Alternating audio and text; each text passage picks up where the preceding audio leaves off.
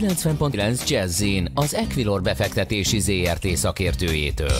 Equilor, 30 éve a befektetések szakértője. Búró Aki- Szilárd, Igen, nem más, mint maga a szerző. pénzügyi innovációs vezető ráadásul. Szevasz, jó reggelt! Jó reggelt, sziasztok, üdvözlöm a hallgatókat. Nem, Na. a szerző. Jó, a, a szerző. Figyelj, a legtöbb kérdés a, nem a tőzsdé érdekli az embereket, nem? Hanem, hogy hol Is. lehet beszerezni a könyvet.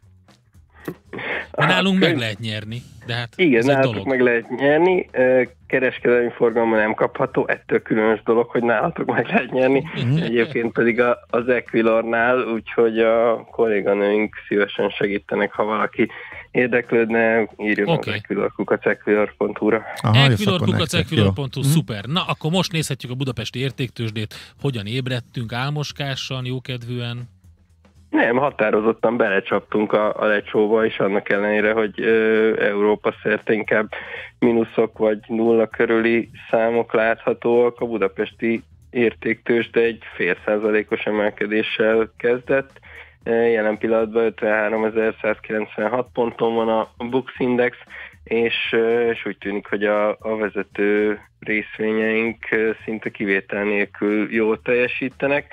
A húzó vagy a legjobban emelkedő részvény az egyértelműen a Richter.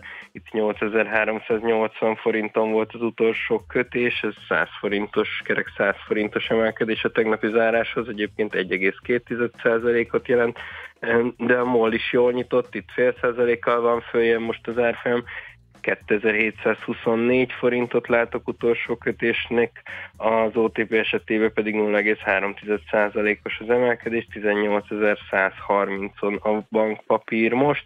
A Magyar Telekom egyelőre nem változott tegnapi záróértékéhez képest. Na, szuper. És a forint? A forint, hát folytatódik a húz meg erez meg játék.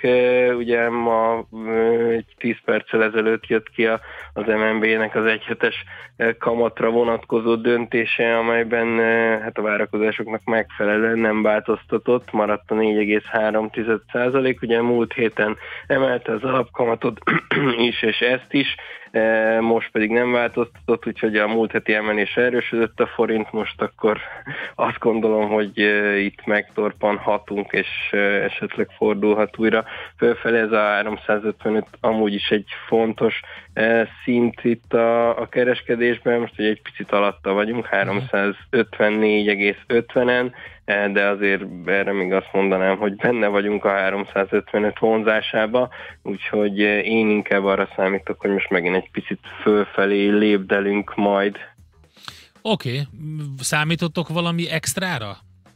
Kamat? Mai nap vonatkozásában? Igen, mai nap. Abszolút, igen. e, Izgalmas lesz a mai nap, Na. ugyanis az Európai Központi Bank döntése lesz, és ö, ugye tegnap jött ki egy meglepően magas ö, uniós inflációs adat, ugye mindenki arra számított, hogy hogy a fordulat már érkezik, és az előző havinál egy picit alacsonyabb inflációs adat jön, ehhez képest nem ez történt, úgyhogy most minden szem eh, arra szegeződik, hogy mit mondanak. Nyilván kamatemelés azért még nem lesz, eh, és nem is fogják megírni, de valamit a kommunikáción talán muszáj lesz változtatniuk, mert Mhm. most már az itt is nehéz eh, amögé bújni, hogy ez csak átmeneti.